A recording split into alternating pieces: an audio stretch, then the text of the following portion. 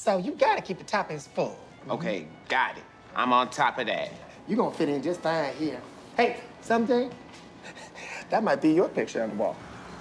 Oh, employee of the year. Mm-hmm. When does she work? What?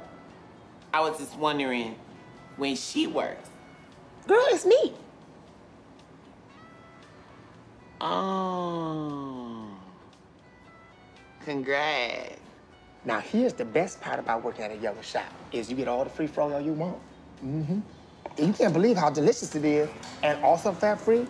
Thank God, because my boyfriend, he just got back from his tour in Afghanistan, and he's coming here to pick me up. He should be here in a minute. I haven't seen him in a year. A whole year, you say? Mm-hmm. Have some. I'm good. Now, if you need an extra shirt or anything, they're gonna be in there because these seem to shrink. Uh-huh. Oh, you know what, girl? I can't get enough of this stuff. I mean, you should have some. It's free. No, I'm okay. I'm. I'll have some later. Come on, girl. It's fat free. Hi, I just got back from Afghanistan. I'm here looking for my girlfriend, Latia.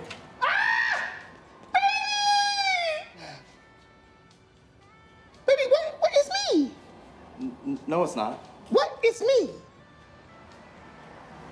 Apparently, she doesn't work anymore. Thanks. What?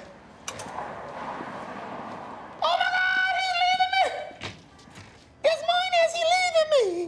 This morning, why would he leave me? What, what, what possible reason could there be for him leaving me? For him leaving me?